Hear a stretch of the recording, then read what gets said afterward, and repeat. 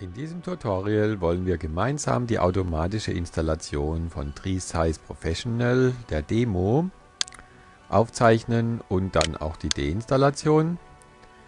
Ich ziehe wie immer einfach die Setup-Datei auf den Installationsrekorder.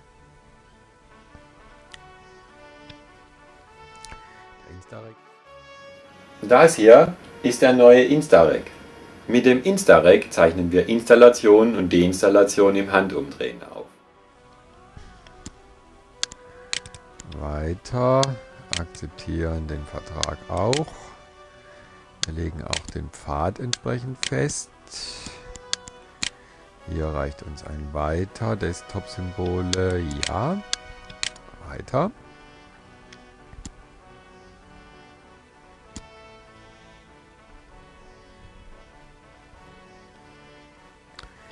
Starten wollen wir das Programm nicht, aber fertigstellen. So, und damit können wir dann hier auch schon Save und Exit klicken und haben unsere Installation schon fix und fertig aufgezeichnet. Und machen gleich auch noch die Deinstallation. Um die Deinstallation aufzuzeichnen, starten wir den Instarec Uninstall. Wählen hier TreeSize aus mit einem Doppelklick.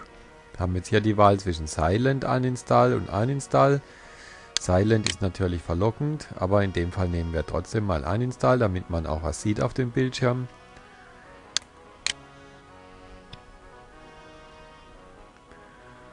Und sagen hier, das wollen wir entfernen, Yes.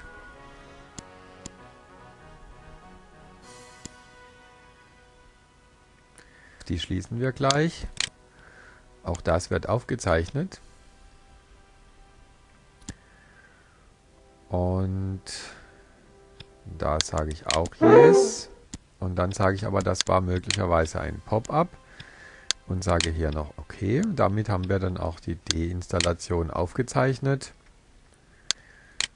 und können im nächsten Schritt beides auch gleich mal testen. Im Folgenden wollen wir die eben aufgezeichneten Skripte testen und später dann auch mal eine, eine Exe, also ein Paket daraus erstellen. Also zum Test und starten hier einfach mal mit der Installation. Ich lade diese dazu in den Package Robot Editor und lasse das jetzt einfach mal laufen.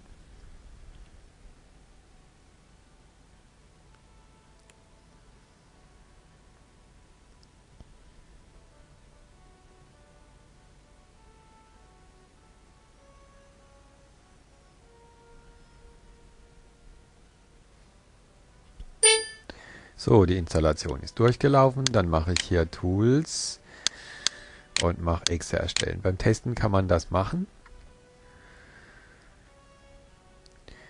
So, und lassen wir mal die Deinstallation laufen. Zunächst auch aus dem Editor.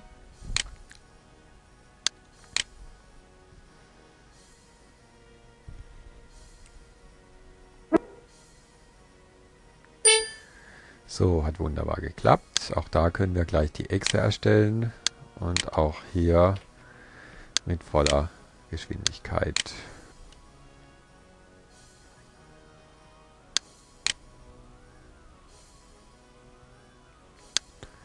So, und jetzt lassen wir das Ganze mit Exe-Schnelligkeit laufen. Zuerst die Installation nochmal. Und hier sieht man auch schön, warum es an der Stelle kaum notwendig ist, jetzt irgendwelche Buttons unsichtbar zu machen oder dergleichen. Der User hat hier eigentlich nur an einer Stelle kurz Gelegenheit auf Abbrechen zu drücken, falls er dieses denn tun wollte. Und alles andere verschwindet eigentlich so schnell, dass der User kaum die Chance hat, irgendetwas zu tun. Lassen nochmal die Installation laufen. Wir können ja jetzt zum Spaß noch hergehen und diesen Abbrechen-Button hier unsichtbar machen. So, zuerst nochmal die Deinstallation laufen lassen. Ich mache das jetzt mal mit Play über das Kontextmenü. So, und im nächsten Schritt machen wir hier nochmal diesen einen Button unsichtbar.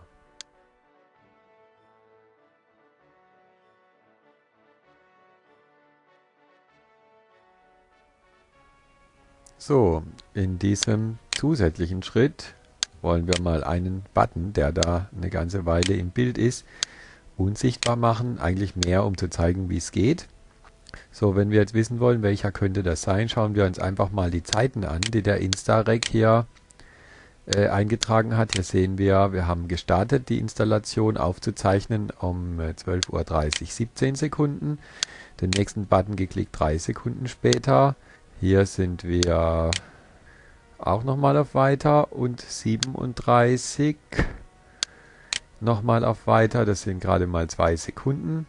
Und dann kommt 39 und 50. Und hier sehen wir, hier haben wir jetzt eine Distanz von 39 bis 50, ungefähr 10 Sekunden. Das heißt, hier zwischendrin wird eigentlich dieses Fenster erscheinen mit dem Abbrechen-Button wir wissen, wie der Button heißt und sagen, so, wir schreiben hier also abbrechen rein, beziehungsweise ein Stück. Was machen wir mit dem Button? Make Window Invisible, das reicht. So, und jetzt lassen wir das Ganze einfach mal bis hier laufen. Falls wir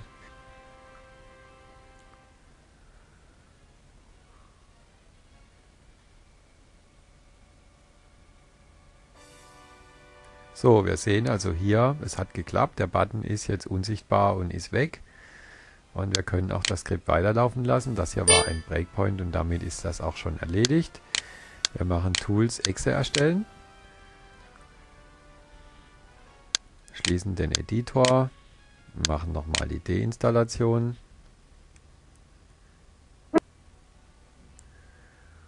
Und lassen nochmal die Installation laufen.